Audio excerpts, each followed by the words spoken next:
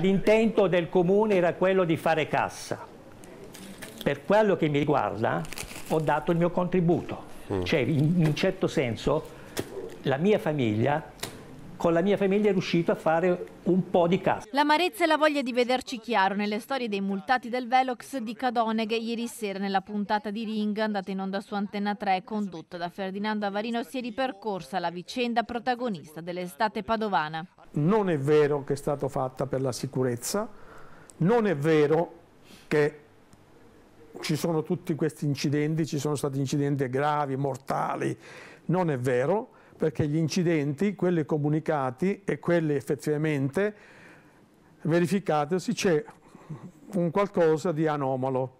Questo non entro nei dettagli perché c'è un'indagine in corso. I dubbi riguardano il numero effettivo di incidenti avvenuti lungo quel tratto di strada, un elemento fondamentale nella scelta di posizionare il limite e il Velox. Sono state comunicate 67 ma ne risultano 35 quelli effettivi, Ah, 35. quelli che si sono verificati. Ok. Di- ma non mortali Sì. e neanche incidenti gravi.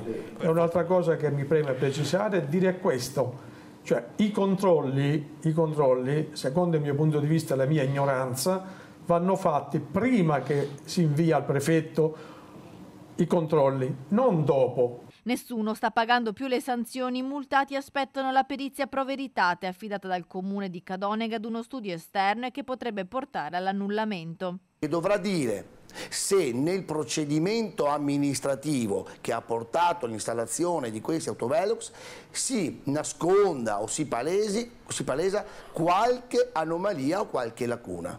Se questa lacuna, se queste mancanze saranno determinanti, allora il comune di Cadoneghe potrà procedere in autotutela alla dichiarazione dell'illegittimità dei provvedimenti emessi e quindi all'annullamento di tutte le sanzioni. Se dovesse finire così, inchieste a parte no? e, e verifiche, che tutte le multe sin qui elevate vengono annullate come speravate e il nuovo autovelox, i nuovi autovelox sa- eh, dov- dovessero poi mai essere tarati a 70 invece che 50, potrebbe essere una soluzione che vi soddisfa? Inchieste fuori, eh? Ma certamente dovrebbe essere tarato anche i 50 all'ora, non è questo il problema. Il problema è che i cittadini per non essere vessati devono essere informati e quello che è mancato in questa situazione è proprio una corretta e debita informazione.